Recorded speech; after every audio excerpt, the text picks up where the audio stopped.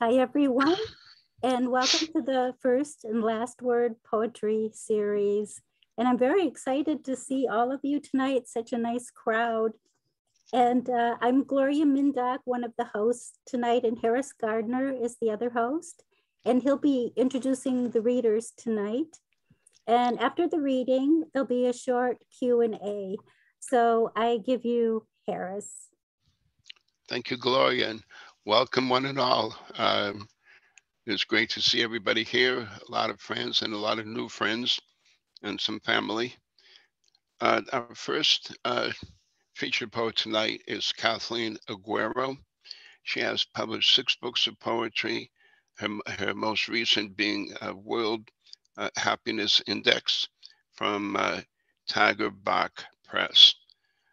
She has also co-edited three volumes of multicultural literature for the University of Georgia Press.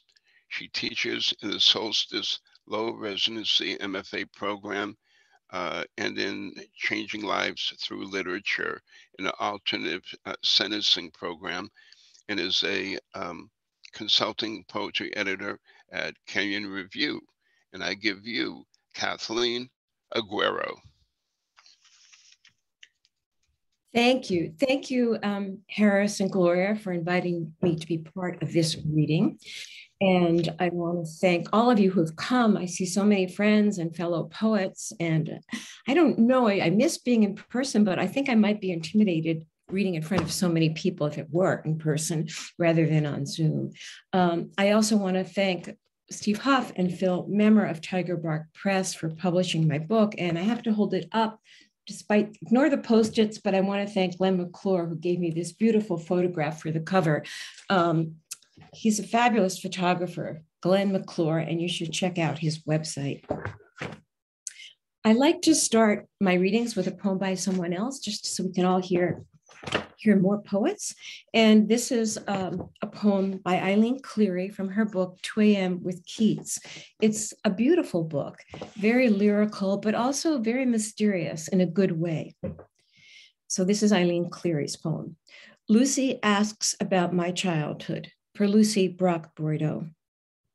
In me, she divines no climate. We each take this to mean sorrow, as sunglow and mauve almost define the landscape on 116th. The elms eavesdrop by the window, store I'm so, by the window, store legends in their veins. Lucy reaches back 40 years to cover my girl body with a quilt. Though that girl stays in her room my mind rises, then ventures outside into fattening clouds, a park filled with woodlands, a lake at the foot of a tower where geese walk single file to soften the wind. I notice the wind, the brilliant grass, call a few blades by their given names. Um, broke my right wrist the other day on the ice. So I've been practicing trying to turn pages with my left hand because I'm a, a righty. So it, it, might be a little awkward. I ask your patience. Um, this is the title poem from this book. And as many of you must know, each year there's some organization, I can't remember the name of it, that publishes a world happiness report. And they distribute a questionnaire and ask all the people, I don't know how they choose their subjects, but they ask questions and they rate the countries in, in terms of their happiness. And in 2019, um, the US was number 19. I don't know where we are this year, if we've gone up or down. The World Happiness Index 2019. How happy I am to live in the 19th happiest country in the world. Tulips rose this month through the arsenic soil, and the air I breathe is dark with money. In country 19, we can say what we want. A professor in California is allowed to say we elected a racist president, and those who disagree can leave phone messages threatening his nine year old daughter because we live free or die. Our children leave their homes each morning happy, not knowing what adventures the day holds. Might they be shot on the sidewalk by an officer who mistakes their cell phone for a gun or by a stray bullet in the playground? Or will they get to the school where they can hide in the closet from an active shooter? If they arrive home safely, there's always tomorrow, and maybe tomorrow their teachers will have guns. They are happy to be living in this just happy enough country where no one dares get sick for fear of bankruptcy. If you try in Happy Country 19, you too can be as rich as the sea. And if not, there are lots of street corners to sleep on, to live on, and happy things to swallow or snort. And the fetid air from the subway gate will keep you warm at night if you knock someone else off it playing king of the mountain. We have problems, of course, that we're trying to solve, but we're from the country of hard work and initiative, of take what you want and say it was yours all along. Numbers one, two, and three, with their orderly lives, their healthcare and housing and good schools for free, grow soft and mushy. Not us. We're the ice inside a snowball, the rubber hose that leaves no mark. We dance on the head of uncertainty, cruelty's pin. Each morning, our sun rises, red, white, and blue. Fear Street. I lived on Main Street in a quiet city whose citizens spoke kindly of those they didn't have to live with. But underneath every complacent surface is a set of fangs, sharp and growing sharper, hungry, irritable, insatiable. How suddenly it seemed to draw back its lips. I didn't see it coming. They said, that's because you didn't have to. It wasn't gnawing on you. How indignant I was on their behalf. How I loved my indignation. They rolled their eyes at my innocence, which was expensive and costing their lives. But I'd never hurt you, I said. We all live on Fear Street, they replied, but you couldn't read the sign. We're all being swallowed. Go ahead. If you don't believe me, walk into it small. And um, this is a poem by another photograph by Glenn McClure, uh, a photograph of Croagh Patrick, a mountain in Ireland. And I think the only other thing you need to know is that Reek Sunday is the last Sunday in July when people make a pilgrimage up that mountain. Croagh Patrick, after a photograph by Glenn McClure. Fog slips down the holy mountain, a soft shawl halting just above tree line, while from the sky and open water, dark clouds like claws reach toward the quiet house, still pasture. The corrugated water of the bay, waves barely raising their knuckles, will soon swell to pummel the shore. On Reek Sunday, pilgrims climb Croagh Patrick to honor the saint who fasted 40 days on its summit. Some trudge barefoot to atone for their sins. Cleansed but bloodied, they return, carried on pallets. No pilgrims this day, the gap in the clouds filling with storm about to break through the camera's frame.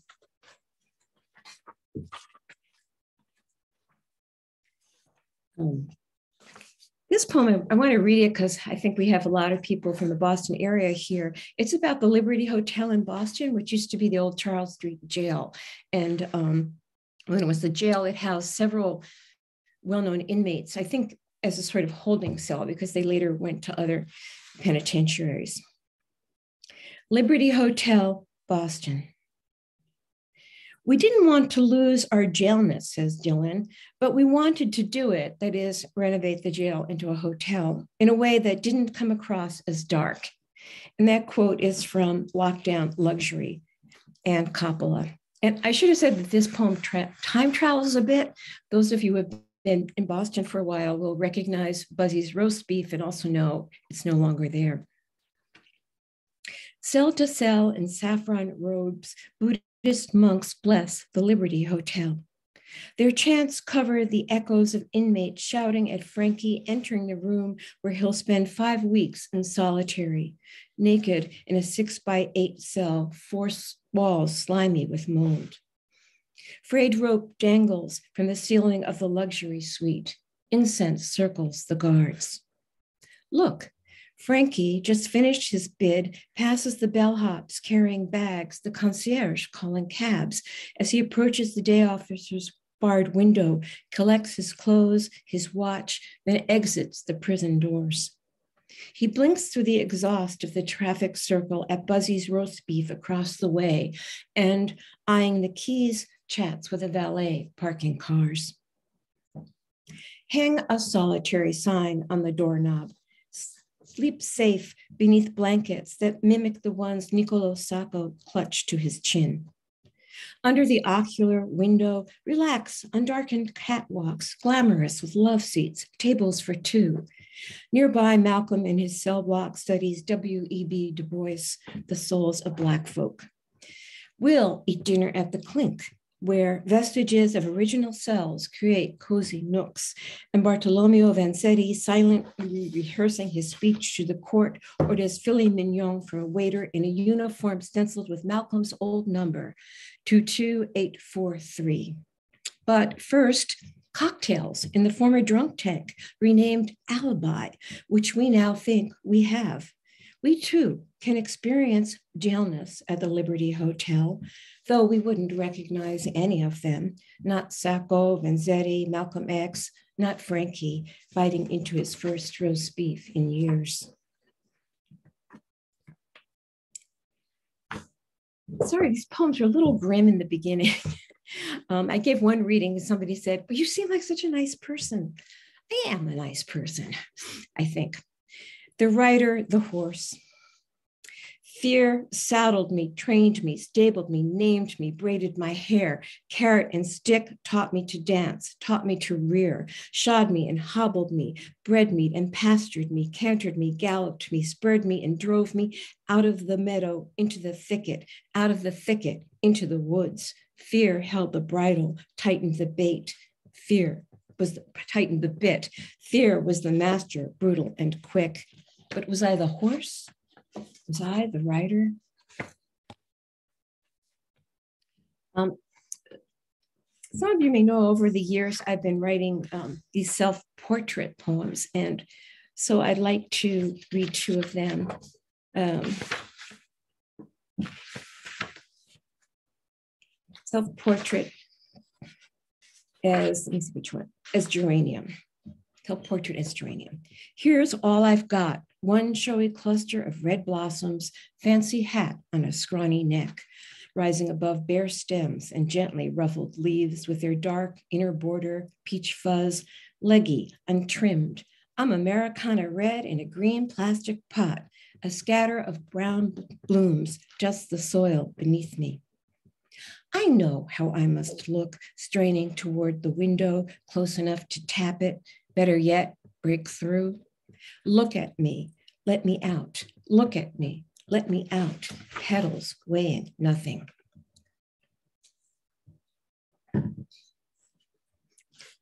Self portrait as an angry dog. Steal the roast, shit on the carpet, roll in something dead, lick my balls, mangy fur, scabby fleas, hot slobber, carrion breath, lips pulled back, yellow teeth, growl, snarl, foam, pull at the leash, break the chain, leap for the throat, all of it.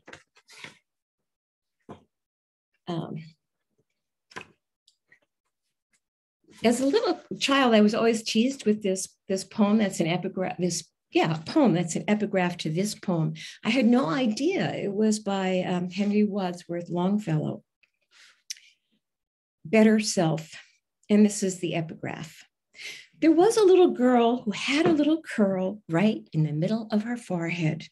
When she was good, she was very good indeed. But when she was bad, she was horrid. When I'm bored by some slow dinner story about to say, get to the point, my better self interrupts, please pass the peas, then tugs the choke collar.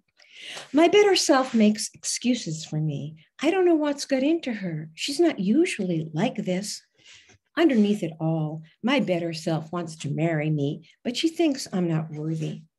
She nicknames me Sweetie. I nickname her BS for better self. When I want to bite like a black fly, she's there first and blows kisses. Can't anyone see how awful she is? She says, You can come out now. Whoops, only joking. I snarl with a mouthful of maggots. She says, Listen to me, or you're on your own, and everyone will know what you're really like. She says, Don't talk back. Before we leave for the protest, my better self cuts her eyes at me. When you go to the rally, chant, pump your sign if you must, but don't pick anyone's pocket. When she turns her back, I slip her wallet out of her bag. My better self insists we go to counseling. She wants to work things out.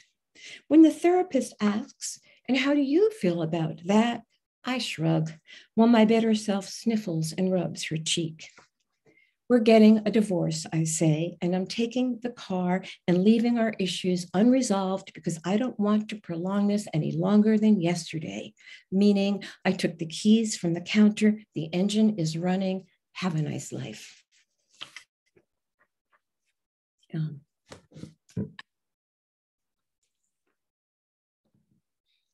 this is a poem for my father, who passed away a few years ago his answer. I lean forward, trying to keep up conversation as I watch my father make himself eat. At 96, he struggles to maintain his weight. 40 minutes for a tiny sandwich, a speck of salad, then cake, ice cream, whipped cream, chocolate sauce. I can't taste anything, he tells me, only desserts. The sweet taste buds are the last to go. He's still ship shape, my father, the marine engineer. Every morning he showers, shaves, dresses himself. I used to be handy, he says. I went around and fixed things for everyone. Now it takes two people to help me in and out of the car. I don't want to be bedridden. And what can I say? The mouthy child who started this by asking what he looks forward to each day. Nothing, he shrugs. I've outlived myself.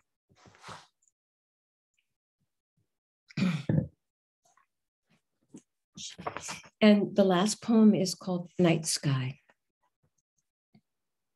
Our troubles show up like stars disturbing the blank night, petty compared to the moon, jewel in a black velvet case, but grouped in constellations, what satisfying tales. The big and little dippers quench our thirst to be tragic as Callisto, turned by Juno to a bear. Likewise, we've been wronged by a jealous lover's fear, or like Andromeda, ruined by a parent's pride, then rescued just in time, or so we like to say to make our lives exciting, at least significant as stars we map our passage by, a story we can squint at, something with a shape. Thank you very much. So anyway, uh, let's have another round of applause for Kathleen Aguero.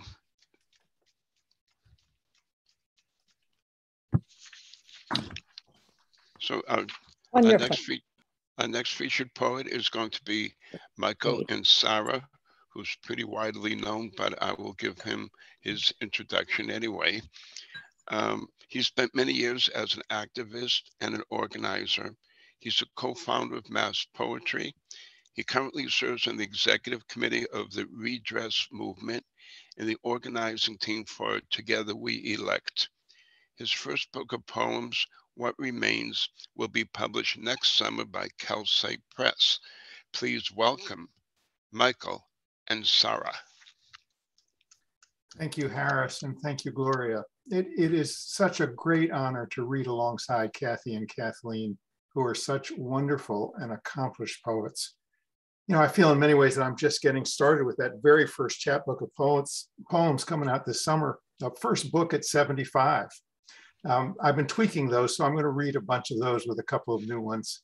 Um, I'll start with the very first three poems I ever had published. You know, all of us, I think, get attached to those very first ones rejection after rejection after rejection. And then Mid America Poetry Review rejected a poem, but said, well, but if you change it to the third person, we might take it.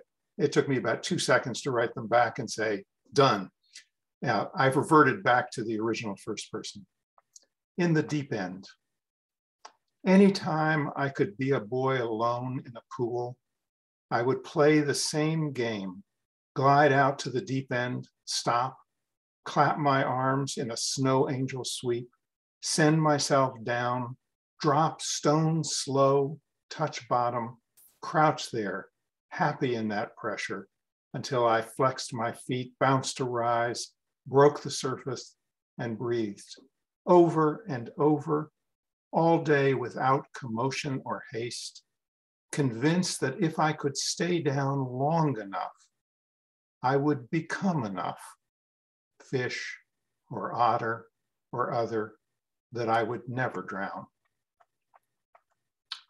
This next poem is probably the only poem that I'm really associated with, um, but I'll share it again. The contest. My son sprints, all unpracticed nonchalance, to match my stride at the lake's warmed edge. Silent against the coming of cooling dark, standing together as if to pray, we pee. Mine falls short, yellowed, diminishing with a rustling hiss, vanishing into the sponge, decay of bark, soft rust of pine. The last veins of bronze light outline the profound arc of sparkling piss as he starts to sway, widening as he swivels side to side with unrestrained, enduring force. Eyes delight, tossing his wolf thick hair, his delicately boned chest, bare to the low sun of summer's end. The third poem I got accepted was accepted in a strange place, the Journal of Medical Humanities. Uh, we poets are desperate for audiences wherever we can find them. It was written when I saw a photo of the sonogram of my first grandchild, Cyrus. It's hard to believe, but he's about to turn 15 and is approaching six foot three. So seeing that sonogram at 19 weeks. Each chinked link in the precise formed fishbone backbone, each particular within a swirled cosmos of black grain and flecked white, delineating a pear curve in a coned basket, a scrap of continuation, marker of the long march away from the dorsal. Already prehensile hand fingers that lightly flutter, larger than likely head, skull unfleshed as if to remind us of what remains in the end. Now the impossible beauty of possibility, taking shape faster than the future, the inevitable gates and alleys, foot flex, blood bloom, even grief. I've been working on two poems for a very long time, and finally, I think I've finished them. So I will share them tonight. First one is called Finding a Photograph of My Mother Modeling, Young and Naked. She stands as if striding into the center of the group of eager art students. Chiseled straight nose, silhouetted sculpted breasts, the black night of her hair pinned up to reveal the full sweep of her nude neck, one arm raised revealingly, the other trailing, her slender but full top fused to already thick Rodin thighs that had yet to open in delight, yet to push out her finest art. A determined artistry in her stance, as if to entice each brush to dance down the length of her body, lush and young. I was a baffled boy, Impossible to connect this woman, proud, brazen of body, with the tired, thick waisted mother across the kitchen table, the thin skin of the blued half moons under her eyes pulsing to the rhythm of disappointment. What did I know? Nothing of the engine of desire, nothing yet of regret. Continuing a little parents and children, parent and child. It's true. I hated my father's reptilian toenails, thick, ridged, battered, as if remnants of an armor plating that had failed to protect him from the world. And below that barreled belly, those thin, measled shins, spotted with their mysterious purple bruises, and his deep snoring, as annoying as the buzzing of a large fly trapped in a tight room that was my childhood recurring nightmare. I still remember the day I looked down at him, seeing for the first time a small man. My mother dressed me every day in her diaphanous, silent disappointments. As a retriever knows without being told to chase the ball, I understood I was not to be like him. My own grown children have all recently left after a brief holiday visit. The house is again ordered silent. It is so trite, this longing to make everything right. Yellowstone in winter for my friend Kim Clare. The flies of Yellowstone in winter live unseasonably, hovering within inches of water. Heat breaks through, heat alive within the mineral speck, a life chain that climbs hot and frothy up finally to flies, persistent, precarious. An unexpected gust can send any one soaring toward the sun. Too high. I was in the white cold of Yellowstone watching flies. When you slung that rough rope over the rafter in a bare Montana cabin when you chose to tilt that chair.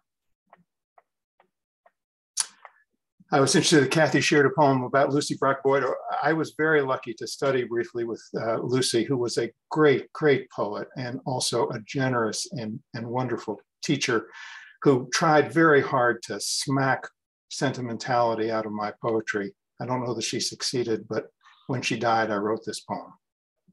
Too soon, always too soon for LBB.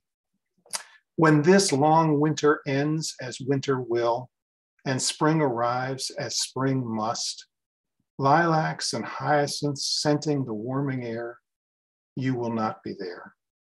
When days get long, nights summer hot, cats yowl and cats prowl, I will look for velvet and lace and lace up boots and not hear that singular voice contralto of the night, alchemist able to write life's lead into laced gold gorgeous lines, substance from smoke filled air. I will look, but you will not be there. Your large heart, your art, lush voice of vireo and thrush, silent now. Too soon, too soon. It's always too soon. At least for one instant, the stars should wobble, air tremble, earth spin, stop. Race is just a story. In the alley or lewd casino, every game its dealer, every story its teller, in caves, in cotton fields, on playing fields, while plowing fields, in ice storms, dust storms, monsoons, typhoons, fictions, the shape of your head, the meaning of your lips, the curl, the color, the kink, the length, the sun, the cold, the light, the dark. Race is just a story. But because of it, the shackle, the whip, the brand, the noose, the bullet, endless songs of mourning rising like soft smoke in the evening sky. Race is just a story. Every story its teller, every salt tear tastes the same. On the death in Alaska of Marie Smith Jones, the last speaker of Eyak. Water is never lost. It falls, flows, blows, mists, again to fall, now as rain, now as snow. The liquid of language can come to nothing. Words, sound, songs strung along the taut tendon of 10,000 years vanish as if wind blown over winter, flecks of ice running over the crusted roof of the Copper River. Speechless light lets go. Gone the tongue, gone caribou beyond counting, ptarmigan and fox, white against the white, years of pestilence and pox, gone the feel of fat against the top of the tongue. True story, George Washington's teeth. A little different than most people have been told the story. George Washington's teeth. Ivory pulled from the pink, unblemished, white from black, sold, bought, not stolen, nine teeth, 122 shillings. The familiar, never smiling mouth, thin, grim, always aware of destiny, choosing not to be king, hiding a disconsolate mandible, desolate, reborn with the false, not wooden. All men are created equal. Some are forced to sell their teeth, see children on the block. This is the story of our birth. So much extracted, red clay turned over, black hands on the plow, nine teeth for a white mouth, 122 shillings, one third the golden rate. End of summer 2017. In this summer and fall of our disquiet, the peach trees cracked under the burden of their bounty. The apple trees seemed blissful in their fruitfulness. Hummingbirds floated in the garden, their throat gorgets gorgeous, changing color in the summer light like the shimmer of oil thinning on water. Our grandchildren each seemed to grow another inch. Everywhere was a lush excess. On the manure pile, volunteer pumpkins, dozens of giant orange orbs among green vines and two large leaves. The deer emerged at dawn, stepping out of their dense woods for a banquet, tough teeth chewing the plentiful seeds' firm flesh. And each morning we awoke among all this and were dismayed. Last poem. Eventide deep in the river of grass, an epitaph, and yet the ways we miss our lives are life, yet, yet, to have one life add up to yet. That's from Randall Jarrell's A Girl in the Library. Eventide deep in the river of grass, light spilling in from the edges of the world, gregarious congregations of roseate spoonbills, Ajaya, Ajaya, pink breast, pink throat, marble pale, pink rippling through white mirrored clouds. No imagining here, only wanting. Entire horizon filled with homecoming. Each bird flies to space as if it had an anointed place, shrubs topped with the white spindrift snow of ibis, spotted with here and there anhinga, spread wing hung as if dying, wet wings drying. We name everything squadron of pelicans, gulp of swallows, siege of humpback blue herons, murmuration of starlings, dissimulation of birds, as if once absurd multitudes meant numbers without end.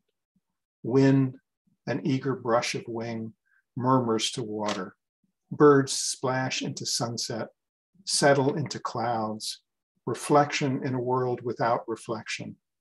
Everything going to water, going to ground, everywhere herons bob, everywhere egrets. Thank you so much.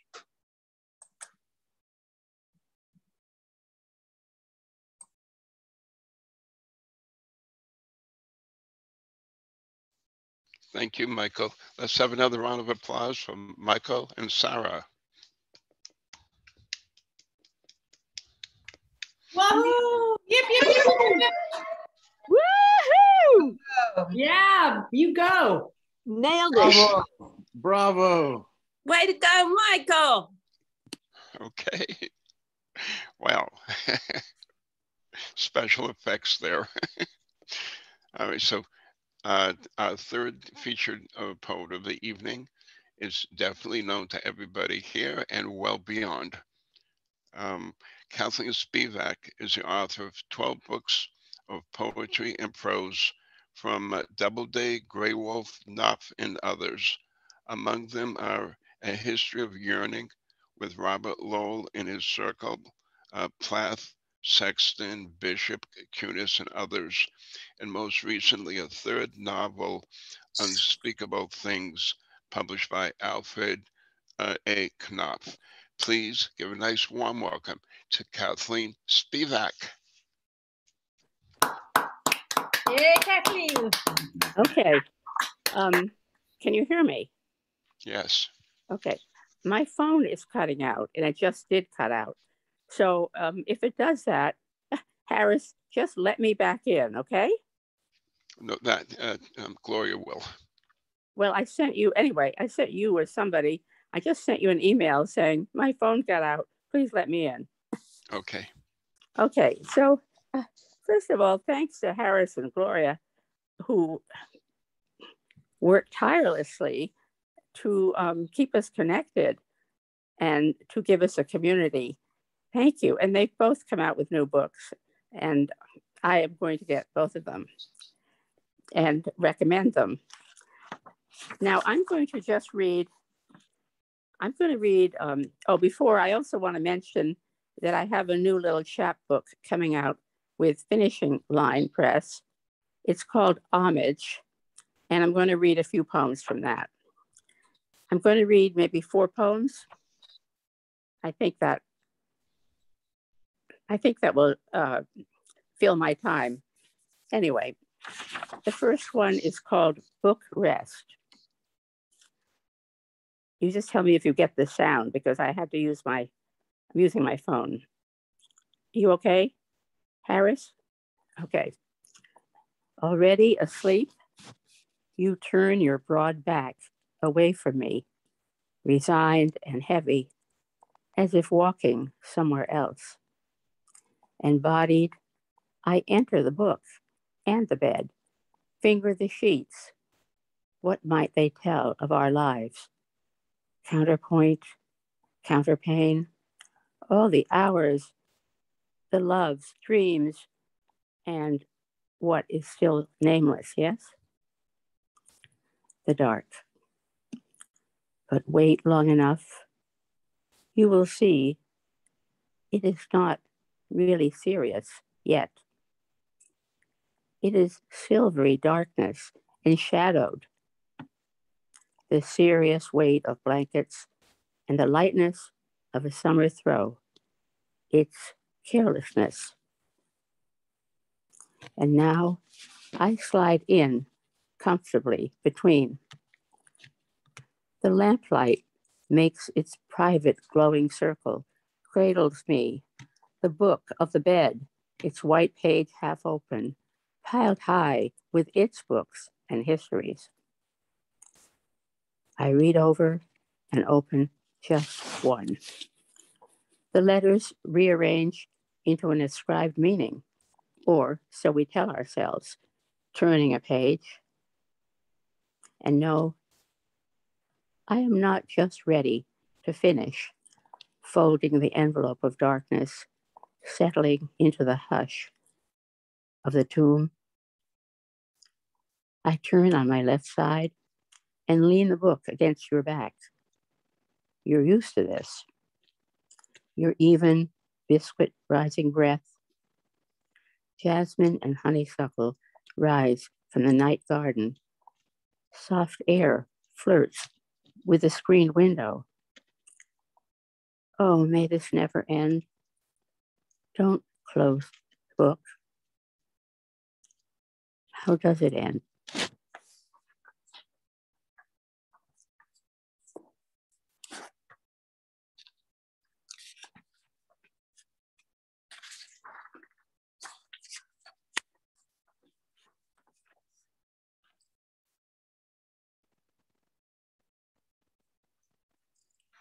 The next one is called Monet's Path, and it's from the history of yearning. You walk into the painting. You walk down the path through the bleached grass toward the village. The cicadas are singing, and you, you are going someplace ordinary. Perhaps it is to the post office Perhaps it is just to get milk. The dry grasses are hardly stirring, and a museum guard is at standstill watching you. You walk next to the poplar trees. You walk through sun and shade. It is an ordinary errand, but the flowers shriek brighter than daytime, and the weeds murmur, Notice me, notice me. The painter is so much a part of this. The crickets hardly bother to silence themselves. Nothing stops singing. Grass celebrates its greenness, and the moist ground underfoot springs back, debonair, as you part it with your eye. It is almost a feeling. This green dapple of light and shade, framed, dazzling, just as when you entered it.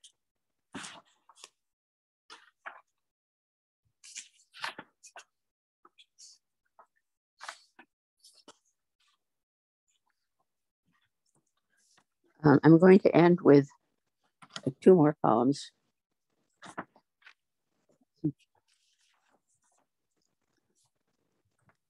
I have to look at how am I doing for time. I'm okay, Harris, for time? Okay. Peace Pilgrim.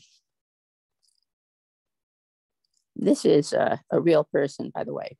Peace Pilgrim. She was 80 some years old when she finished walking across America. A little white haired old lady in pants and a navy blue sweatshirt. Her name written across the back Peace Pilgrim. Her past, she had renounced it and all attachments too, focusing only on her naive message peace. That simple word walked with her peace, inner, individual in families, community, and world. A childlike faith. Were things so complicated then? Or was she crazy? An inspired bag lady with a cockeyed glint to her bright blue eyes? A glowing lunatic hobo for which America is famous? She walked away the latter half of her life, crossing and recrossing the country in a constant state of prayer. Her real name was unknown. She had changed it so long ago anyway. The details of her life, her family, she said, were unimportant, only what she was doing right now in this glistening moment. The scent of pine breathing up from the roadside, rain or scarves of wind against her face. Wait a minute. Uh, hold on. Okay. The scent of pine breathing up from the roadside, rain or scarves of wind against her face, thick clouds that changed about her, yet cradled her heart, a glowing ember around which the night sky swirled. She carried a blanket, water, and answered her mail. She slept, saying, Body, lie down. By the side of the road, in culverts, meadows, and on the floors of local jails. She ate only when offered food, which was surprisingly often, she said. Spent time with folks along the way, believed in something, something she called God, and didn't expect anything else. Surprised, life, life was a perpetual gift. Singular in happiness, she spent her life walking around peacefully, looking out at the world in delight, writing about it sometimes. A harmless, little, loony old lady, peace pilgrim.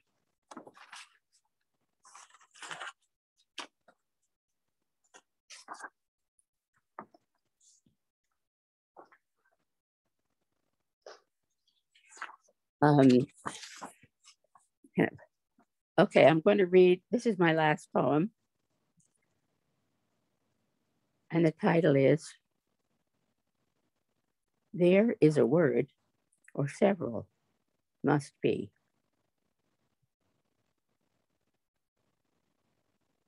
breathe these words in all languages before they're lost. Thank you and mean it. The things we take for granted and now have abandoned us or will. Water, air, rich earth beneath the rubble. Thank you for our daily breath. Give us this day. Exhale the little thank you words. They're quick. Slip out our pores. Clean hair, a shower, soap, and aspirin. Thank you, whoever you might be. Appreciation, a survival skill we never get to hone enough. Thank you for life, for health, for the newborn baby, and jump, whoops, I'm sorry, for the newborn baby slipping out between the hips, for wondrous eyes and little rosebud fists. Thank you, sweet pea. And jump ropes, patience, teachers of the world, and teach me self control. Migration, vanishing the butterflies, the orange peach of the oriole, whatever bright eyed bird you once saw flicker past and wondered, what was that? You were lucky to have it show itself. And you are lucky, perhaps, to be it. Plumage, proud breast, and wings. Thank you for shelter, the blanket of morning, of this morning. When first frost found naked earth or when you found that one shade tree in the desert of last summer. Sun like a knife blade, now the reluctant release of pain. Oh, those precious moments when it goes away. Do you still remember having such moments?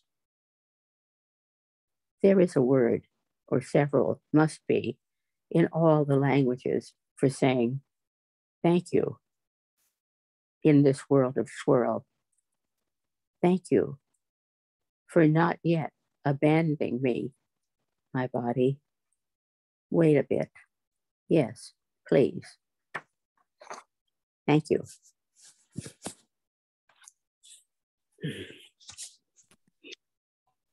Thank you, Kathleen. What a wonderful Yes. night of poetry. Uh, really wonderful. Let's Um, have another, let's have another round of applause for Kathleen. Thank you. Sorry. S- Thank you. I, I didn't mean to interrupt. That's That's a okay. gift. Um, so now we come to our short Q and A. Um, so if you have questions for any of the readers, um, I can't see all 60 of you. So um, I'll call on who I can see and maybe you could just, um, if I don't see you, just uh, speak up. Uh, so does anyone? Uh, go ahead, Brenda.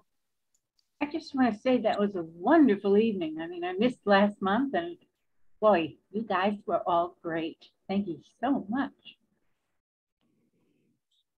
Thank you, Brenda. Uh, Sarah?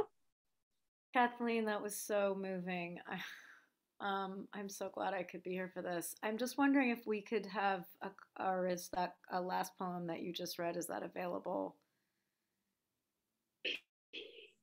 Well, it will be. Um, it will be. I- I mean, um, what can I say? If it isn't, if it hasn't been published, I don't know. I don't keep track, but I hope it has been published somewhere locally. Um, but if not, it will be, and uh, I'll let Harris and Gloria know. Yeah. Okay. I have a friend who's dealing with a, a who would really benefit from hearing that. Yeah. I want to say thank you, Kathleen, too. Kathleen and I have known each other for, well, I guess over 50 years. Wow. We really go back.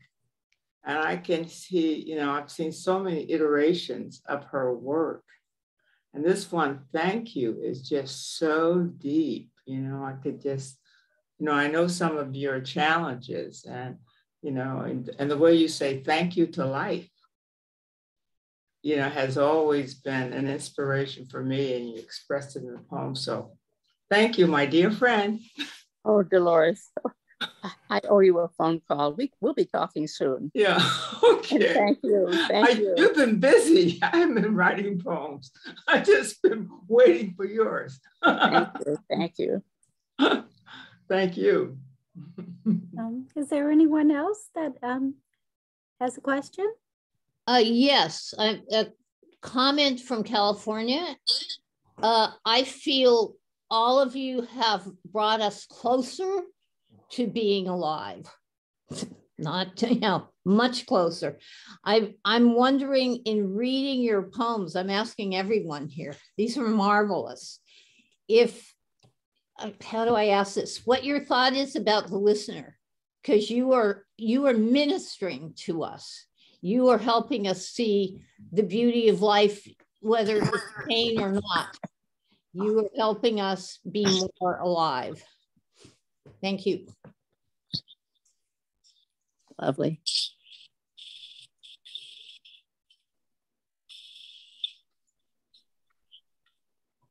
Uh, Harris, uh, I can't tell if you're doing something, if you were, uh, somebody else want to say something or respond to her, the readers?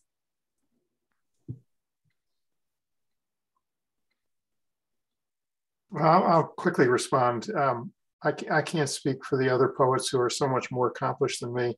I have to say that I don't actually think about uh, the listener or, or the reader when I'm doing the, the poem. Um, it, it really is the poem and trying to find it um, and trying to be surprised by it and um, not to be overly intentional.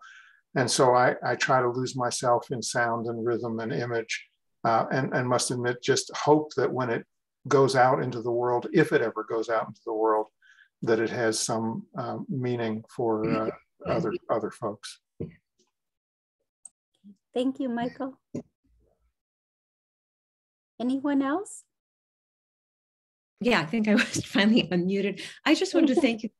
The lovely comment to say that you felt the poets were ministering to you. Um, I am aware of the audience, although it's a little bit distant on Zoom. Zoom, and I, I, I do feel a connection. I never think of myself as ministering, though. I, but I do think there's a sort of, hopefully, some kind of exchange of energy or spirit or something. I, I feel it when I listen to poetry, when I listen to the other poets tonight. I certainly felt um, grateful for their generosity in sharing their poems. Thank you, Kathleen. Anyone else? Uh, yes, Rena. Uh, you're muted. I just wanted to say that it's good to hear poetry that is uh, deliberately communicating. Very often, the poetry that we hear today is, is uh, a kind of uh, self communion, and, and it, it, lacks the other half of the poem, which is the, the, the reader, the listener. I always feel that I don't think of a specific reader, but I know that something wants to listen. It's it's in myself. It's, it's part of myself that i may be trying to talk into something or out of something but there is a listener always and it's good to know that poetry remains communication which is how it started thank you rena someone else um, if i may just say from a wintry maine that my heart is warmed by the poetry that I've heard tonight. And I wanted to especially thank Kathleen for her poem, thanking for what we have in this life. It was, mm-hmm. the poem was as though she were singing from my heart. I, I don't know how else to say it. Oh, thank That's you. A beautiful thank way you. to say it. A beautiful way. Thank you. You're welcome. and thank you. It was it was a true gift. Now I have to see who I have to now. Who was the speaker? Was this Sarah Melson? No, this is Veronica Kate Frank. Oh, Veronica. Veronica. Sorry. Yes. I mean, I'm looking at. I, I was the one who said it was incredible. At so many um, people I know. Thank you, Veronica. I think of you a lot and you encourage me a lot. And you don't know this, but I'm telling you now. Thank you. It's all due to our mutual friend, Kate, who's here tonight. It's a yes. real gem, right? Incredibly precious. Yes. I'll just add to your discussion that miraculous as Zoom is, that it can bring people from very distant places into the same reading. Something is missing when you're not in the same room together. It was an absolutely beautiful reading, but you don't get to hear back very much from us as we experience it. And I'm grateful that you would deliver this quality of evening, even with a relatively silent audience. Anyway, I'm sorry. Special poems from each of the readers. You know, we feel you. We feel you. I mean, there isn't an either or because Zoom is the best we have. And agreed. And we feel you. We feel the silences, we feel the receptivity. You know, we're not saying, oh, this isn't as good as being in the same room. It's different, but it's all we have. And I'm really grateful for it. Agreed. Arena, you wanted to say something else? Go ahead. Um, unmute yourself, please. I wanted to say that I'm grateful for Zoom, which I did not expect to like at all because I like people in front of me that I can touch and, and really speak to face to face. But we have a, we have um, a, a Latin American group that used to be very local. And now we have people who join us from Argentina, Colombia, Mexico, all over the Spanish speaking world and in the United States too. And it's just amazing how much you can connect to people like that to people from such a distance. It's as if the poetry itself created a, a space, created a, a, road. Yes, so true. And um, Mary wanted to make a comment.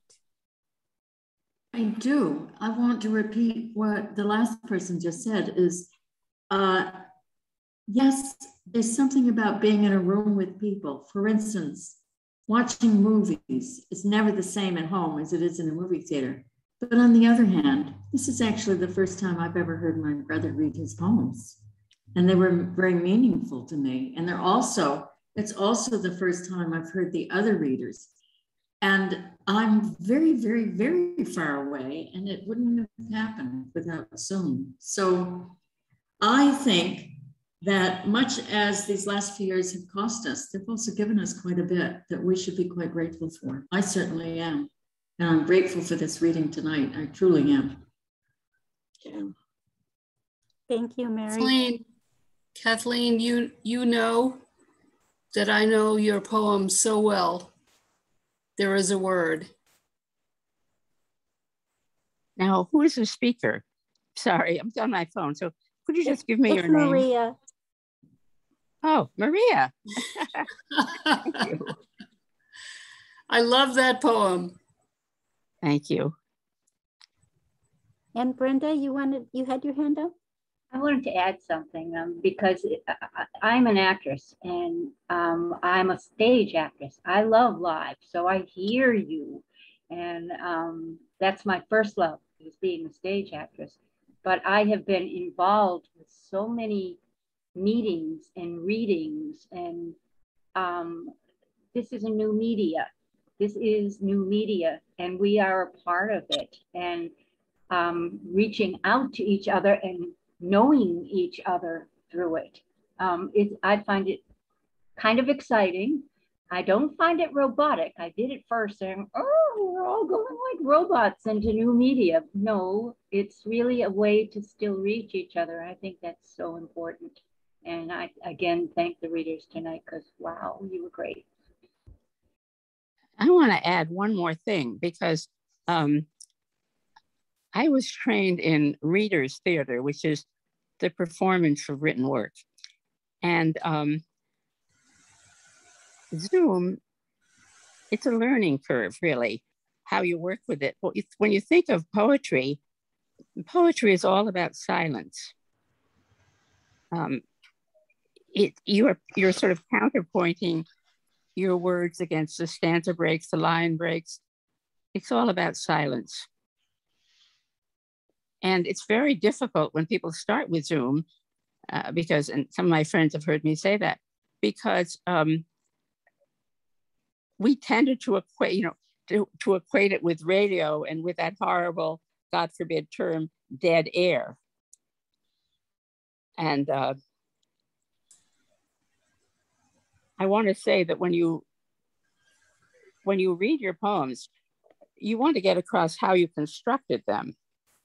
And um, Zoom actually lends itself to working with silence. I don't know what the other readers think, but it's true. Okay, we have time for one more question. If anyone has one, um, I can't see. I think it's Miriam. You have your hand up. Go ahead and unmute yourself. No, that's left over. Sorry, I already spoke. Thanks. Okay. No, um, that's me. That well, is. Oh, Miriam Greenspan. Go yes, ahead. thank you. I, I just wanted to thank thank you all, Kathy, my good friend and such a wonderful poet. So good to hear you. Kathleen, you may or may not remember me, but you helped me get started as a poet. Yeah, I really appreciate I your, your words tonight. Um, and Michael, um, I'm surprised to hear this is your first work. It, it, it was wonderful. So thank you all. That's really all I wanted to say. Thank you. Thank you. And can we have another round of applause for the readers and the audience? you guys are great. And I would like to turn it over now to Harris just to close us out. And, and again, thank you. And Michael, I'm excited about your first chapbook. I can't wait to get it. So congratulations. That's really wonderful. Um, so um, Harris, take it away. So anyway, thank you all for coming tonight. Uh, you were a great audience. The greeters were fantastic. It was just a wonderful, remarkable um, uh, uh, evening of, of, evening of poetry and camaraderie. I was trying to remember my favorite word, camaraderie, and uh, it was truly a, a remarkable evening. And I'm glad so many people were here to hear these three wonderful featured poets. And I'd like to give a shout out to so many people that I know who came here tonight, but I don't know if Gloria would give me any time for that. so anyway, you, you know who you are, but I would say a quick hello to Tim Suleiman and Pui, who I haven't seen for ages, but we'll be in touch, and Dave Miller, and so many other people here tonight. I, I don't want you to feel that I'm not mentioning you. It is just, it's such a wonderful, great gathering of, of poets and poet lovers.